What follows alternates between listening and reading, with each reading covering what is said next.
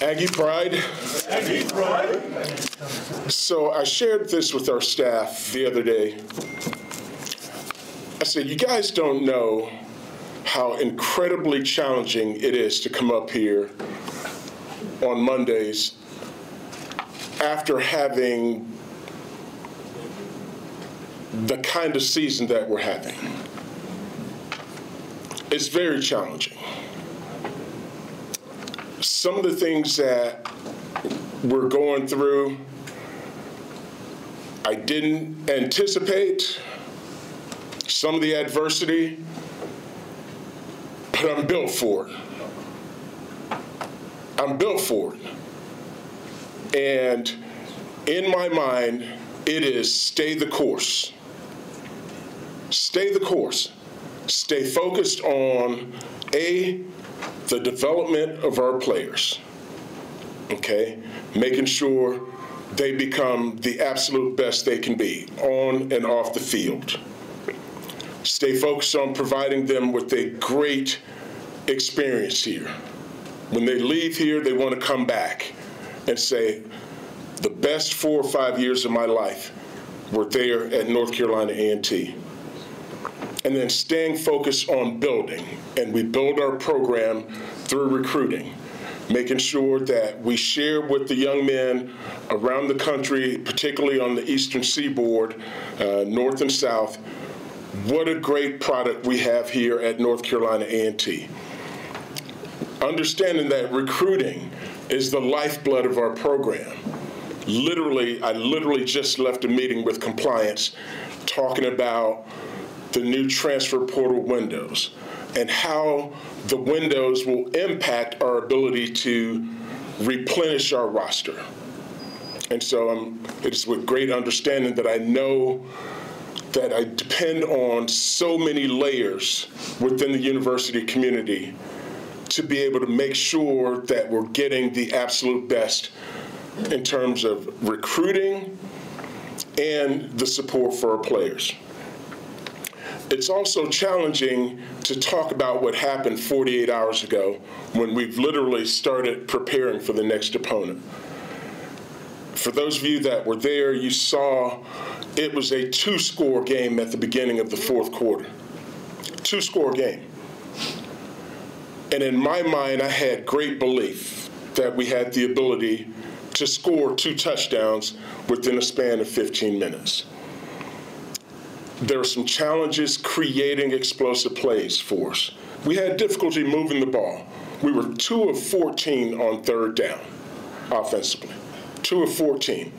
And as I shared with our staff, some of those third downs were very makeable. Third and two, third and three, third and four. So we have to do a better job of finding what it is that we do best and exploiting the weaknesses of the opponent in order to make those first downs. That keeps the chains moving. That keeps us moving down the field. So we, even if we don't score, we flip the field position. Defensively, we gave up four explosive play runs of 20 yards plus. Four. Some of that missed gap fits. Some were just missed tackles at the second and third level. Um, and we work, we focus, we drill tackling ad nauseum.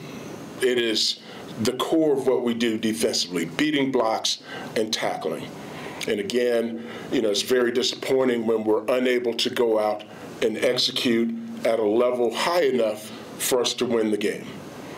But as I said to our kids, look, there's a lot of football left to play. Yes, it sucks being one and six right now. It really does. But we got five games left to play. And six and six doesn't sound so bad when you look at where we are right now. But it has to start with this next game. It has to start with this next game. And as I've said throughout the course of the season, there are no waiver wires. We got who we've got.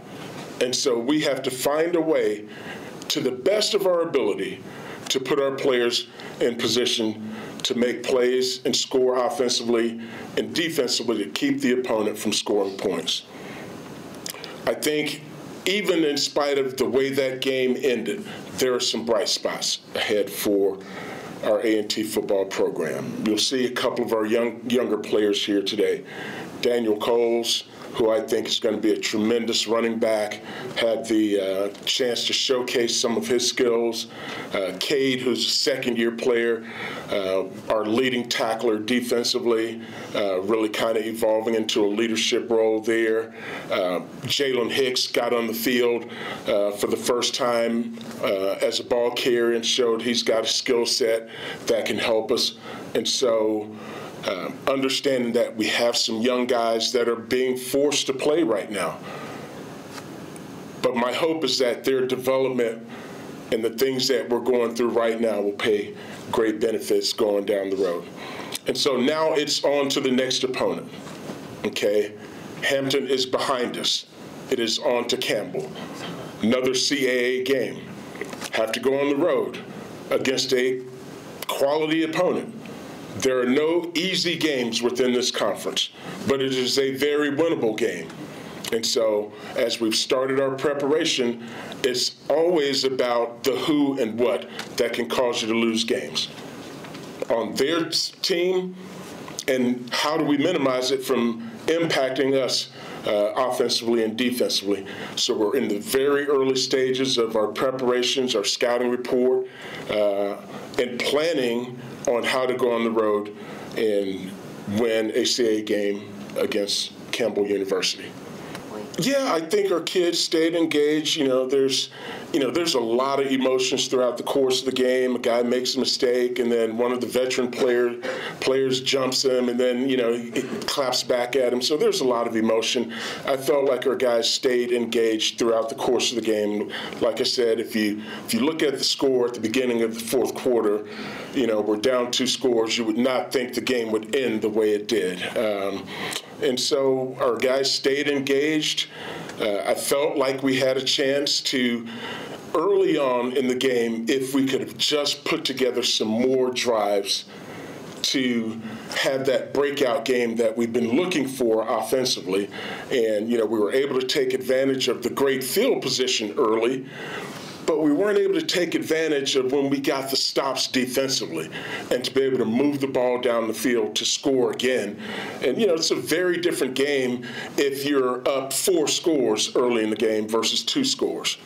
You know, you're always trying to find the good and the lessons, uh, the negative that can help you down the road. There are lessons to be learned from good and bad, whether you win or lose. And so, you know, you look back at, hey, we have the ability to create explosive plays. Look at this.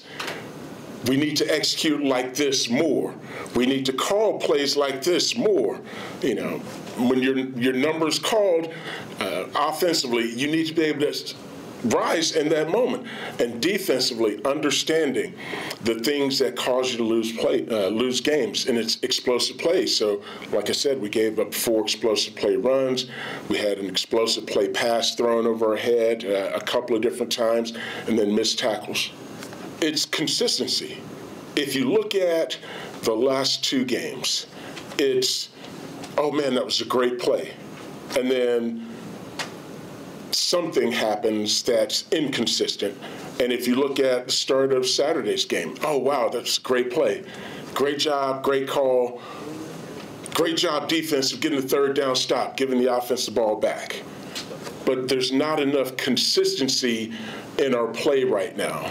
And if we can consistently put a drive together to A, consume time and produce points, and B, defensively become more consistent on third down and in the red zone, we'll win the game because that's where the games are won and lost. Third down efficiency and in the scoring uh, scoring zones.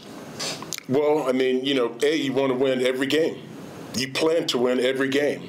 Um, B, our goal was to be in position to compete for a CAA title. Okay, and so that's probably not a realistic goal now. But we have five conference games left. So win the next game. And then worry about the next game after that, you know, win the next game. you know, our job as coaches is to create a vision of what this should look like and then recruit the players capable of helping craft that vision into a culture where players start to hold each other accountable for their actions or inactions. And the very best teams have a large group of players that hold each other accountable. They set the standard. So Friday night, we had a Aggie football alum come talk to the team, and he talked about the standards that they had during his time here and the accountability that they had for the uh, for each other. And so when you get that in your program, I believe your program is going to elevate to the next level needed to compete for a championship. No, I believe in our staff. Um, we got great leaders. Our, our, coaches care about the development of our players. Um, our coaches have had success coaching they didn't just all of a sudden not know how to coach, and uh, and so I believe in our staff. But as I shared with our staff yesterday, you know, this is a results-oriented business, and it's our job to produce results. And sometimes those results aren't immediate. Sometimes they're not immediate, but we need to see improvement and progress. And so um, that's where we're focused on getting better.